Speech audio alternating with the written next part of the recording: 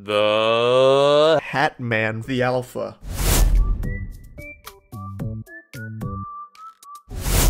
Hey guys, welcome back to the channel. Today I bring you 10 more 3DS programs that I think are pretty cool. Last time I did 10 as well, so with this video that makes 20 apps. Be sure to watch that other video after this one. Alright gang, be sure to like, subscribe, hit the bell, share the video, and comment your favorite giraffe. Why giraffes? I have no idea. Just do it. Now, without further ado, let's move on to the sweet list. And remember, all links are in the description. This amazing program replaces Nintendo's network and allows for multiplayer and friend adding through new servers. It's not perfect yet, but it's getting there. A note before using it though, your Pretendo username has to be different from your Nintendo username. I don't know why, but that's what it says on the website. Now, here's a quick look at what progress they have made.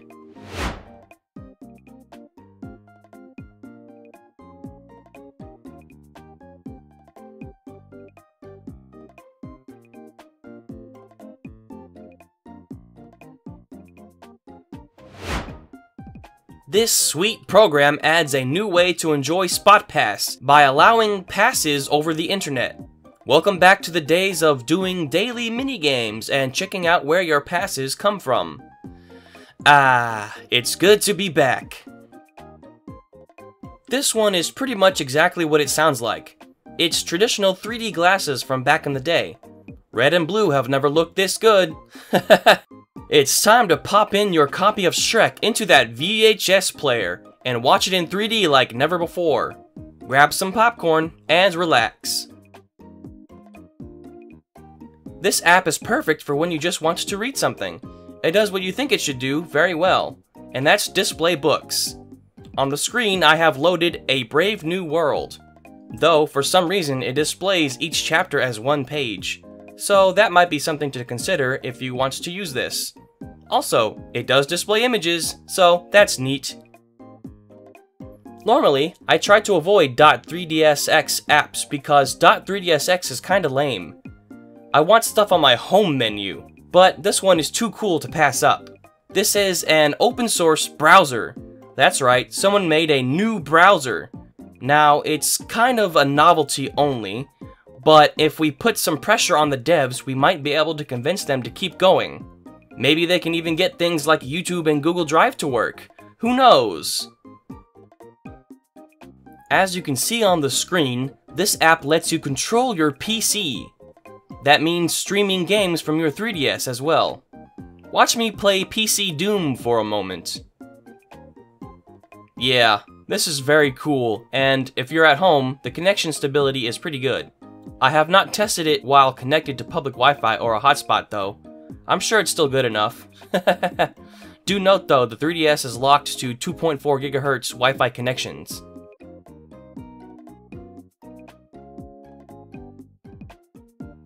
Okay, this one is pretty sick. It lets you manage all games up to Generation 7 of Pokemon. That means your Virtual Console Gen 1 and 2 games, your Homebrew Virtual Console Gen 3 games, your Gen 4 and 5 cartridges, and your Gen 6 and 7 games as well. You can store your Pokemon in the app like a bank, move Pokemon from game to game, and back up the saves. You can even edit Pokemon stats. It's a very robust program, and if you're a Poke fan, get this ASAP. Watch me demo storing Pokemon.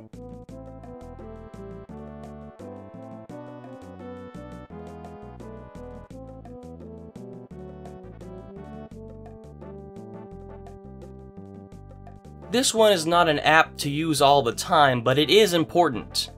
The one time you use it, it dumps your Spot Pass data into an archive and that lets work be done to restore all Spot Pass events that have ever happened. It's called the Spot Pass Archival Project.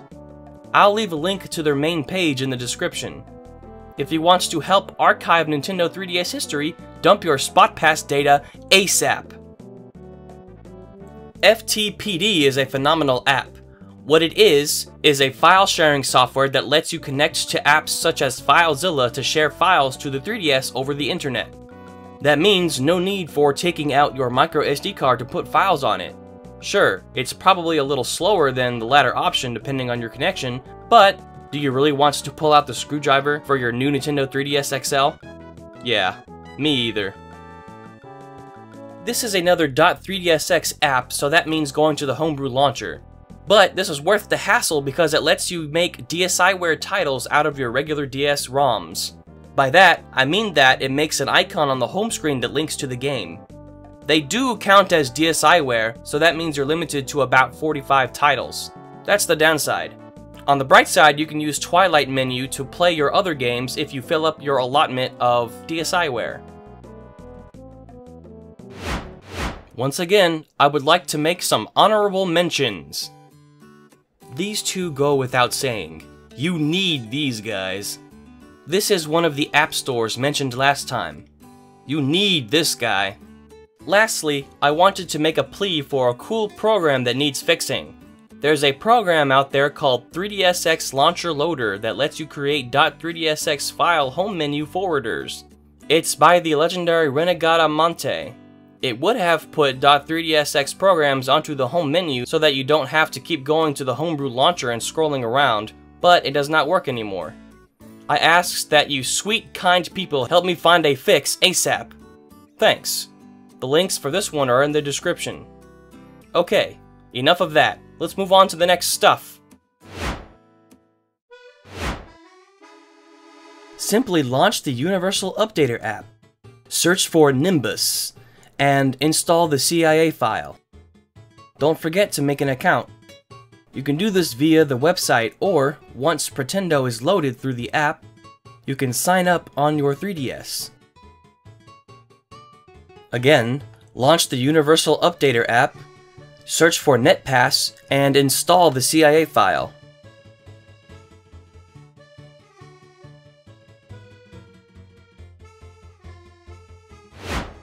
For this one, you must use the link in the description. Once you have it downloaded, simply put it on your SD card.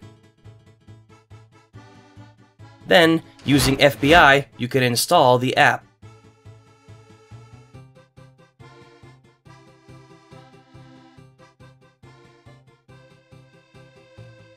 Once again, download this from the Universal Updater app. Search for drider and install the CIA file.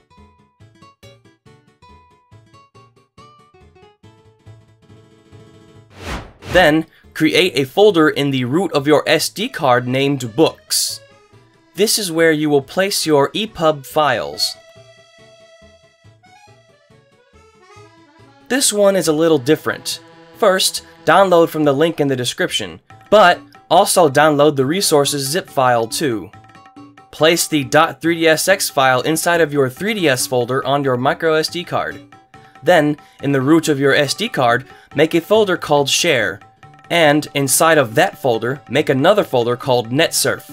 Lastly, extract the files directly inside of the NetSurf folder.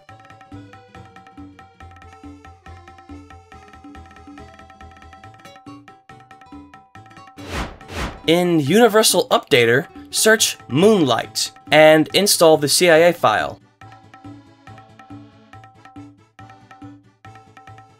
Now, from the second link for Moonlight in the description, download the file from the latest release called Sunshine Windows Installer.exe. Install it.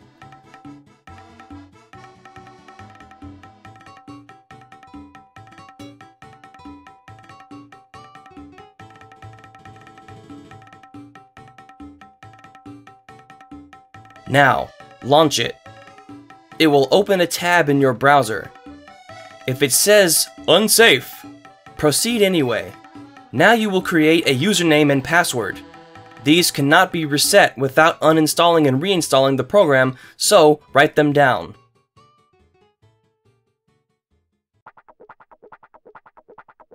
Navigate now to the Configuration tab of the web page. Then, within this page, navigate to Network and scroll down to External IP. Next, navigate to your system settings. locate the network settings. Navigate to the properties of your current network and locate the IPv4 address. It should start with 192.168. Type that address into the external IP field in the web page. Grab your 3DS and launch Moonlight. Press A on New. Type the same IP from before.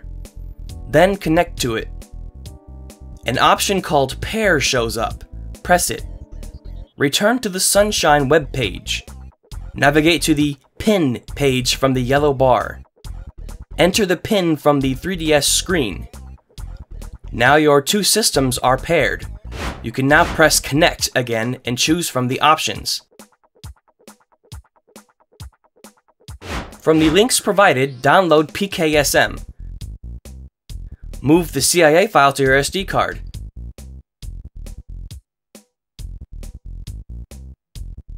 Now install using FBI.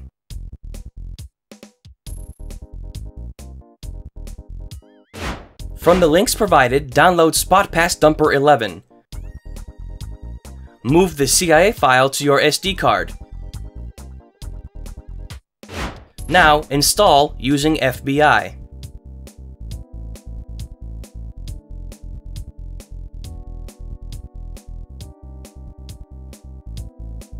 Again, from the links in the description, download FTPD. Move the CIA file to your SD card. Now, install using FBI.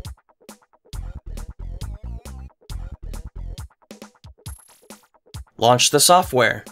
Next, on your PC, download FileZilla from the second link provided for FTPD in the description. Once installed, locate the host field at the top of the program. On your 3DS is your IP address and the port. Enter the IP address with the colon and port into the host field, as shown in this example. Then press Quick Connect. Congrats, you can now move files to your 3DS. This is the last one. One last time, open Universal Updater.